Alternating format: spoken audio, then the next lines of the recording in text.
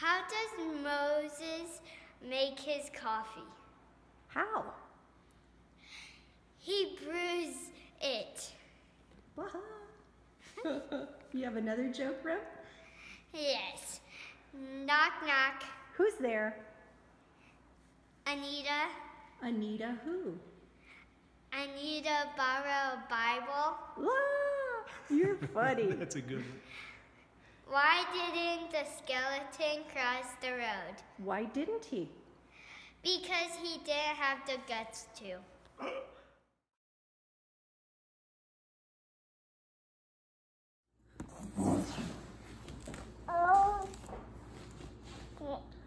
Our scripture reading today is from Acts 9 1 through 19.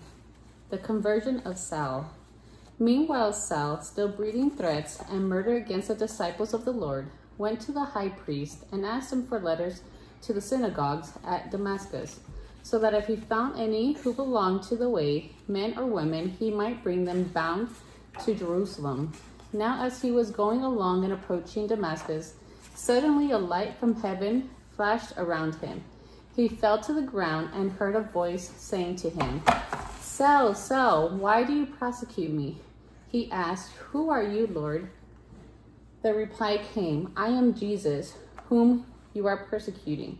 But get up and enter the city, and you will be told what you are to do. The men who were traveling with him stood speechless because they heard the voice, but saw no one.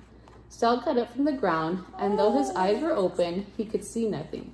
So they led him by the hand and brought him into Damascus. For three days he was without sight and neither ate nor drank. Now there was a disciple in Damascus named Ananias. The Lord said to him in a vision, Ananias. He answered, Here I am, Lord. The Lord said to him, Get up and go to the street called Straight, and at the house of Judas, look for a man of Tarsus named Saul. At this moment he is praying, and he has been in a vision. A man named Ananias come in and lay his hands on him so that he might regain his sight. But Ananias answered, Lord, I have heard from many about this man, how much evil he has done to our saints in Jerusalem. And here he has authority from the chief priests to bind all who invoke your name. But the Lord said to him, Go, for he is an instrument whom I have chosen to bring my name before Gentiles and kings and before the people of Israel. I myself will show him how much he must suffer for the sake of my name. So Ananias went and entered the house. He laid his hands on Saul and said, Brother Saul, the Lord Jesus who appeared to you on your way here has sent me so that you may regain your sight and be filled with the Holy Spirit. And immediately something like scales fell from his eyes and his sight was restored. Then he got up and was baptized, and after taking some food, he regained his strength. This is the word of God for the people of God. Thanks, be to God.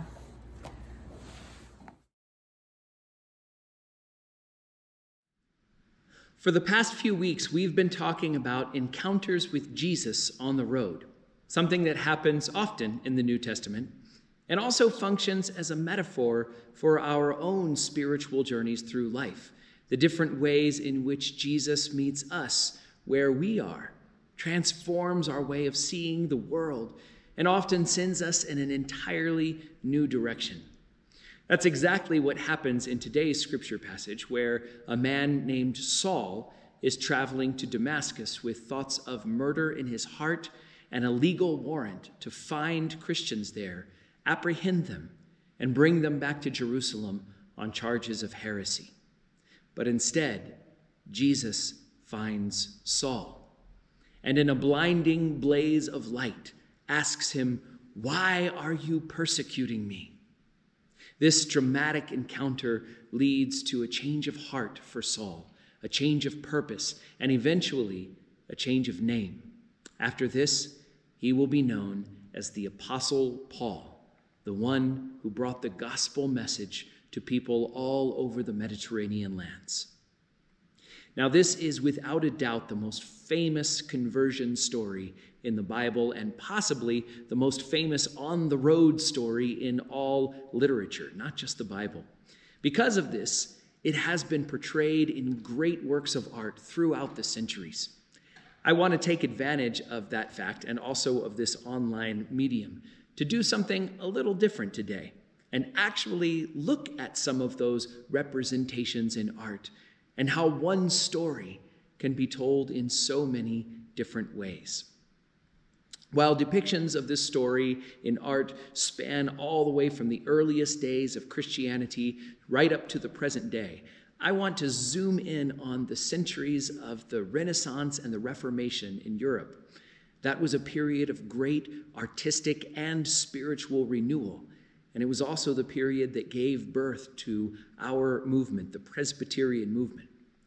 We'll begin with the great Italian painter, Michelangelo. This piece by Michelangelo is titled The Conversion of Saul and was completed in 1545. It's a fresco, which is a type of mural painting on plaster walls. This particular fresco is painted on the wall of the Pauline Chapel in the Vatican Palace. Now, the first thing we notice is that there's a lot going on in this painting a lot of people and a lot of chaos, which perhaps tells us something about the artist's understanding of what a conversion experience is like. Notice that there's a sharp division between all the people, Jesus and the saints above, and Paul and all the sinners below. Right near the middle of the painting, there's also a horse, which is something of a mystery, since there is no horse in the actual scripture passage, but just about every depiction of this scene in artwork from the 13th century onward always features a horse. In the scripture passage from Acts, we read that a light flashed from heaven.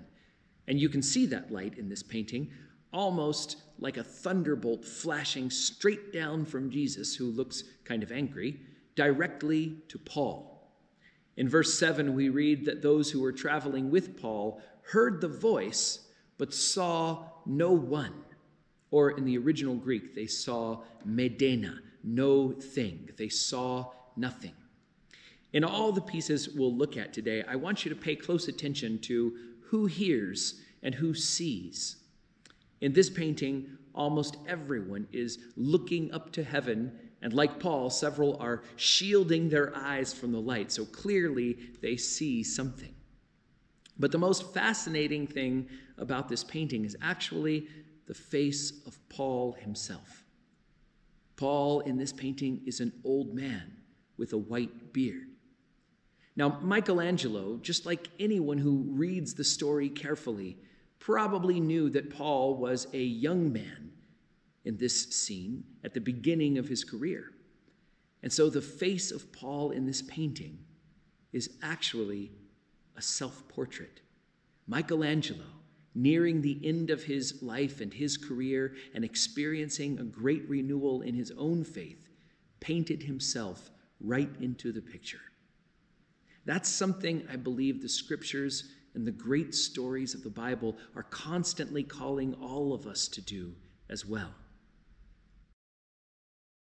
The next painting is one of my favorites. It's titled The Conversion of Paul by Peter Bruegel the Elder, a Flemish painter who was a contemporary of the reformers Martin Luther and John Calvin and lived in the same part of Europe as they did.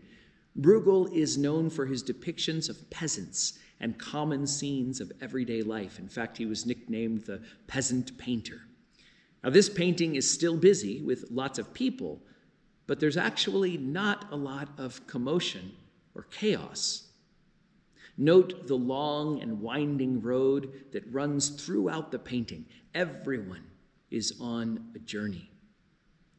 Unlike Michelangelo, who puts his subjects in ancient looking costumes, Bruegel's subjects are dressed in the costumes of Bruegel's own century, which is another attempt to put the viewer into the story.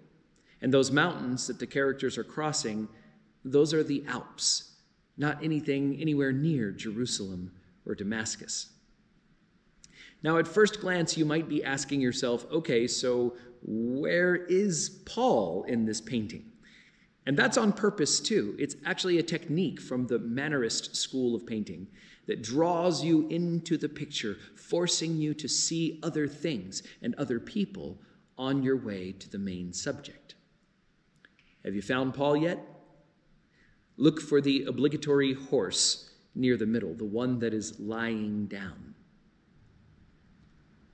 What's fascinating about this painting is that there's no Jesus, no flashing light.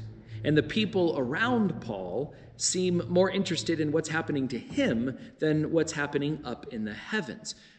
A few of them are looking up, but not many. And that makes sense too, since according to the scriptures, only Paul sees the light. Most people just go about their business carrying on with their lives and journeys, perhaps waiting for their own conversion experiences some other day. The next painting is one of the most iconic depictions of Paul's conversion. It's called Conversion on the Way to Damascus and was made by the Italian painter Caravaggio in 1601. He actually painted three different versions of this scene, but this is the one most people remember. Note that there is no crowd in this painting, just Paul and a servant, and the obligatory horse. This is a very intimate and personal painting, which again may point to the artist's notions about what conversion is like. Just like Bruegel's painting, Jesus does not appear directly in this one, but look at the light. This is a hallmark of Caravaggio's work. The light illuminates everything, comes from nowhere, and yet is surrounded by a deep, almost impenetrable darkness. And notice how Paul is posed in this picture. Lying on his back, his arms are outstretched upward, not shielding himself from the light, but embracing it. His eyes are closed, his face is peaceful and serene, and his sword, the implement of his power and violence, is lying abandoned next to him on the ground. Caravaggio himself was no stranger to violence. Listen to this description of the artist by one of his contemporaries who said about Caravaggio that after a fortnight's work, he will swagger about for a month or two with a sword at his side and a servant following him from one ball court to the next, ever ready to engage in a fight or an argument, so that it is most awkward to get along with him. In 1606, Caravaggio killed a man in a fight and had to flee his country. When I look at this painting and that abandoned sword and that peaceful expression on his face, I can't help but wonder if this painting is a cry for help, for the kind of peace and release from violence that Jesus offers in converting us away from the life we have known. This next piece is by Flemish Baroque painter Peter Paul Rubens, The Conversion of St. Paul, completed sometime in the 1620s. Rubens also painted this scene several times, and this particular work is a collaboration between Rubens and several of his students in his studio. I like the idea that art, just like music and just like worship, is something that you can do individually, but also something you can do with other people. In this painting, we're right back to the busy crowd and chaos with Jesus radiating light from the heavens. This time, Paul's horse has fallen to the ground with him. There are several horses here, and even a few camels thrown in for good measure. The animals seem to be just as spooked by the light and the voice as all the people are, with one man in the center holding his head and writhing in agony. But what strikes me the most about this particular painting is Jesus flanked by two sweet baby cherubs in the sky. Unlike Michelangelo's Jesus, who was thrusting that light down on Paul in anger, this Jesus is extending the palm of his hand downward to Paul in love, as if he desires to raise him back up again. If you will only take my hand, Paul. It reminds me that the way we see and understand Jesus profoundly affects the way we react to him when he shows up unexpectedly on our journeys. Paul, who looks utterly bewildered in this painting, had no reason to expect that kind of mercy from the man he had set himself against. Our final painting is technically not from the Renaissance. It's a pen and watercolor drawing by the Romantic poet and artist William Blake called The Conversion of Saul and completed around 1800. But I just couldn't resist including it here. Like Caravaggio's painting, this piece is intimate and personal. Even though there are others depicted both above and below, they all fade into the background, leaving Paul and Jesus in the forefront. The angels are all looking away, and the soldiers, yes, they're soldiers, you can see the tips of their spears, the soldiers are for the most part bowing their heads, shrouded in the shadows. There's one upturned face, an exception to that, but there's always an outlier, isn't there? Jesus and Paul are closer together than in any other piece we've looked at. So much so that you can see them looking right into each other's eyes. Oh, and in this one, the horse is down, but Paul is still mounted, which accords him a dignity and a status that the other paintings do not. There is also some wonderful symmetry and shape to this piece with Paul's arms framing the edge of the circle of heaven. Everything above in that circle is fluid and in motion. Everything below that circle is fixed and static. But Paul himself is halfway in between both worlds. His arms are outstretched and reminiscent of the crucifixion, perhaps foreshadowing the Christ like suffering that he will face in his own ministry. But the arms of Jesus are interesting too here. One is reaching down to Paul, like the Rubens painting, beckoning him upward. But Jesus' other arm is pointing outward into the distance, a reminder that conversion is not just a call for us to change our ways, but also a call for us to get up and go, to proclaim the gospel, the good news to all the world. This too is foreshadowing Paul's new road and his new mission to the Gentiles. I hope you've enjoyed this little trip through art history and our scripture story. All of the images that we've talked about today are posted on our church website in case you'd like some time to look at them a little bit more closely. I want to leave you with this thought today. While not everyone is gifted with the skill or talent of a master painter, all of us carry in our hearts and our minds these images and understandings of our sacred stories. And they are just as varied, just as diverse, and just as beautiful as we are.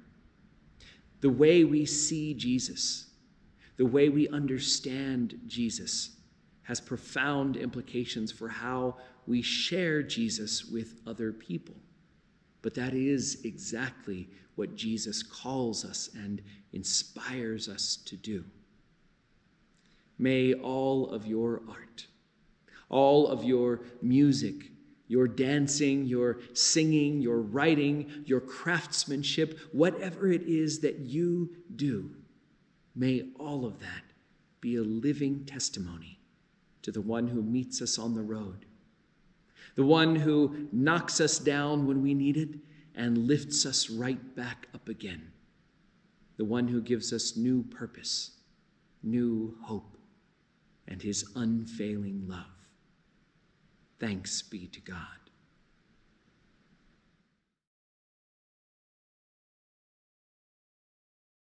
Let us now say the Lord's Prayer together. Our Father, who art in heaven, hallowed be thy name. Thy kingdom come, thy will be done, on earth as it is in heaven. Give us this day our daily bread, and forgive us our debts as we forgive our debtors. And lead us not into temptation, but deliver us from evil. For thine is the kingdom and the power and the glory forever. Amen.